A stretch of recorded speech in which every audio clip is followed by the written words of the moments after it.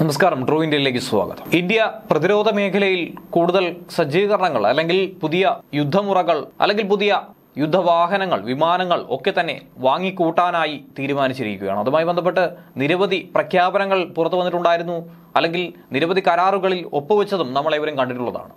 എന്നാൽ ഇപ്പോൾ പ്രതിരോധ മേഖലയിൽ പ്രത്യേകിച്ചും അതിവേഗം ഒരു കുതിപ്പ് നടത്താനായി ഇന്ത്യ ഒരുങ്ങിയിരിക്കുന്നു എന്നുള്ള വാർത്ത തന്നെയാണ് നമുക്ക് പുറത്തു വരുന്നത്. കാരണം വിവിധ പദ്ധതികൾ വിജയകരമായി പൂർത്തിയാക്കിയതിന് പിന്നാലെ തന്നെയാണ് ഇപ്പോൾ പുതിയൊരു പദ്ധതിയിലേക്കും കടന്നിരിക്കുന്നത്. അതായത് നമ്മുടെ രാജ്യത്ത് അഞ്ചാം തലമുറയിൽപ്പെട്ട യുദ്ധവിമാനങ്ങൾ നിർമ്മിച്ചുകൊണ്ട് കൂടുതൽ കരുത്ത് തെളിയിക്കാൻ ഒരുങ്ങുകയാണ് ഇന്ത്യൻ വ്യോമസേന. നമുക്കറിയാവുന്നതാണ് ഇന്ത്യ ഇപ്പോൾ തദ്ദേശീയമായി തന്നെയാണ് എല്ലാവിധ ആയുധങ്ങളും അതുപോലെ തന്നെ വാഹനങ്ങളും യുദ്ധത്തിന് ആവശ്യമായിട്ടുള്ള വിമാനങ്ങളും ഒക്കെ നിർമ്മിക്കാൻ പോകുന്നത്. നേരത്തെ തന്നെ I N S Visakhapatnam commission ചെയ്ത വാർത്തയും നമ്മൾ കേട്ടതായിരുന്നു.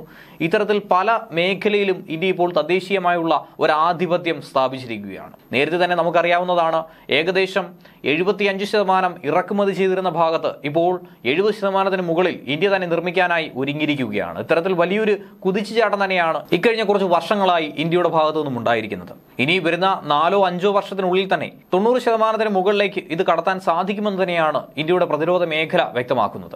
ഈ ഘട്ടത്തിൽ തന്നെയാണ് വ്യോമ സൈനിക മേഖലയിൽ കൂടുതൽ കരുത്തോടെ പറന്നുയരാനായി ഇന്ത്യ ഇപ്പോൾ ശ്രമിക്കുന്നത്. അതായത് അഞ്ചാം തലമുറ യുദ്ധവിമാനങ്ങൾ രാജ്യത്ത് നിർമ്മിക്കാനുള്ള നടപടികൾ ആരംഭിച്ചു എന്ന് വേണം ഇപ്പോൾ തന്നെ വ്യക്തമാക്കാൻ. ഇതുമായി ബന്ധപ്പെട്ട നടപടികൾ വളരെ വേഗത്തിൽ തന്നെ പുരോഗമിച്ചു കൊണ്ടിരിക്കുകയാണ് ഇതിനു വേണ്ടിയിട്ടുള്ള എല്ലാവിധ പേപ്പർ വർക്കുകളും നടക്കുകയാണ് അണിയറയിൽ നടക്കുകയാണ് എന്നാണ് മനസ്സിലാക്കാൻ സാധിച്ചിട്ടുള്ളത്. ആദ്യഘട്ടത്തിൽ പുറത്തിറങ്ങാനായി ഉദ്ദേശിക്കുന്നത് ഇരട്ട എഞ്ചിനുള്ള യുദ്ധവിമാനങ്ങളുടെ നിർമ്മാണം തന്നെയാണ്. ഇതിനുവേണ്ടി തന്നെയാണ് വ്യോമസേന ഇപ്പോൾ മുന്നിട്ടിറങ്ങിയിരിക്കുന്നതും. വിമാനങ്ങളുടെ രൂപരേഖ ഇതിനോടകം തന്നെ ഏകദേശം തയ്യാറായിട്ടുണ്ട്.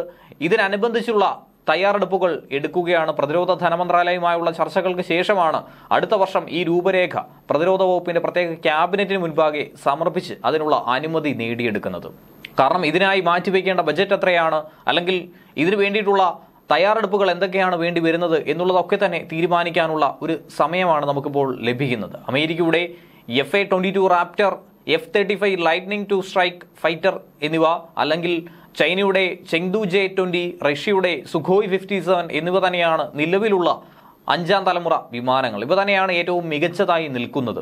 എന്നാൽ ഇവയേക്കാൾ വളരെ മികച്ച അഞ്ചാം തലമുറ വിമാനങ്ങൾ തന്നെയാണ് ഇന്ത്യ നിർമ്മിക്കാനായി പോകുന്നത്. ഇതോടെ തന്നെ ഇവരൊക്കെ തന്നെ ഭയക്കുന്ന രീതിയിലേക്ക് അല്ലെങ്കിൽ ഇവരൊക്കെ തന്നെ അമ്പരക്കുന്ന രീതിയിലേക്ക് ഇന്ത്യയ്ക്ക് മാറാൻ സാധിക്കുമെന്ന് പ്രതീക്ഷിക്കാം. ഈ വിമാനങ്ങളുടെ നിർമ്മാണം ഇന്ത്യ പൂർത്തീകരിക്കുന്നതോടെ പ്രതിരോധ മേഖലയിൽ ഒരു പടി കൂടി മുന്നേറുമെന്നുള്ള കാര്യം ഉറപ്പ് തന്നെയാണ്. അമേരിക്കൻ സാങ്കേതികവിദ്യ ഉപയോഗിച്ചുകൊണ്ട് തന്നെയാണ് അഞ്ചാം തലമുറ യുദ്ധവിമാനങ്ങൾ ഇന്ത്യ നിർമ്മിക്കാനായി ഒരുങ്ങുന്നത്. ചൈനയുടെ ചെങ്ഡു ജെ ട്വന്റി റഷ്യയുടെ സുഖോയ് ഫിഫ്റ്റി സെവൻ എന്നിവയ്ക്കാണ് നിലവിൽ അഞ്ചാം തലമുറ യുദ്ധവിമാനങ്ങളോട് ഏകദേശ സാമ്യമുള്ള സാങ്കേതികവിദ്യ ഉപയോഗിച്ചിട്ടുള്ളത്. ഏറ്റവും മുന്നിൽ നിൽക്കുന്നത് ഇവ തന്നെയാണ്. ഇവയൊക്കെ തന്നെ പിന്തള്ളാനായി ഇന്ത്യയ്ക്ക് നിഷ്പ്രയാസം സാധിക്കുമെന്നുള്ള കാര്യം ഉറപ്പ് തന്നെയാണ്. ഇരുപത്തി അഞ്ച് ടണ്ണോളം ഭാരം വരുന്ന വിമാനം നിർമ്മിക്കാനായി പതിനയ്യായിരം കോടി രൂപ ചിലവ് വരുമെന്നാണ് ഇപ്പോഴത്തെ ഒരു കണക്കുകൂട്ടൽ. ഇനി വരുന്ന വർഷങ്ങളാകുമ്പോൾ ഇതിൽ ചെറിയ വ്യതിയാനം വരാനും സാധ്യതയുണ്ട്. രണ്ടായിരത്തി മുപ്പത്തി ഒന്നോടെ വിമാനത്തിന്റെ നിർമ്മാണം പൂർത്തിയാക്കി വ്യോമസേനയുടെ ഭാഗമാക്കി മാറ്റുക എന്നത് തന്നെയാണ് നിലവിലെ പ്രധാന ലക്ഷ്യവും രണ്ടായിരത്തി ഇരുപത്തിയഞ്ച് രണ്ടായിരത്തി ഇരുപത്തി ആറ് വർഷത്തിൽ ആദ്യ പ്രോട്ടോടൈപ്പ് തയ്യാറാകുമെന്നുള്ള ഒരു സൂചനയും ലഭിച്ചിട്ടുണ്ട്. ഇതോടുകൂടി എങ്ങനെയായിരിക്കും വിമാനം എന്നുള്ളത് നമുക്ക് മനസ്സിലാക്കാൻ സാധിക്കും. രണ്ടായിരത്തി മുപ്പതിലാണ് ഇതിന്റെ നിർമ്മാണം ആരംഭിക്കാനായി കരുതുന്നതും ശേഷം മുപ്പത്തി ഒന്നിൽ ഇത് പൂർത്തിയാക്കി പുറത്തിറക്കി ഇന്ത്യയുടെ കരുത്ത് തെളിയിക്കാൻ സാധിക്കുമെന്നും പ്രതീക്ഷിക്കുന്നുണ്ട് നിലവിൽ റഫേലാണ് ഇന്ത്യയുടെ പക്കലുള്ള പുതുതലമുറയിൽപ്പെട്ട ഏറ്റവും മികച്ച യുദ്ധമാനമായി നിലനിൽക്കുന്നത്. നിലവിൽ മുപ്പത് മുപ്പത്തിരണ്ട് ഫൈറ്റർ സ്ക്വാഡ്രണുകൾ മാത്രം കൈവശമുള്ള വ്യോമസേനയ്ക്ക് പദ്ധതി വളരെ നിർണായകമായി തന്നെയായിരിക്കും ഭവിക്കാൻ പോകുന്നത്. കാരണം രണ്ടായിരത്തി പതിനെട്ടിലാണ് വ്യോമസേനയ്ക്ക് എ എം സി എ നിർമ്മാണത്തിലുള്ള അനുമതിയും ലഭിച്ചിട്ടുള്ളത്. ഇതിന് പിന്നാലെ ഇന്ത്യ വൻ ഒരു കുതിച്ചുചാട്ടത്തിലേക്ക് തന്നെയാണ് ലക്ഷ്യം വെച്ചിരിക്കുന്നത്.